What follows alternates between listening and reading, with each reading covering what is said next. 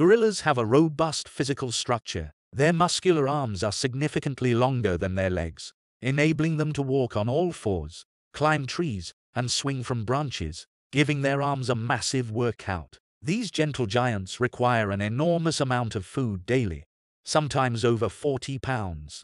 Their longer digestive tract allows them to extract more nutrients from plants, making them exceptionally strong.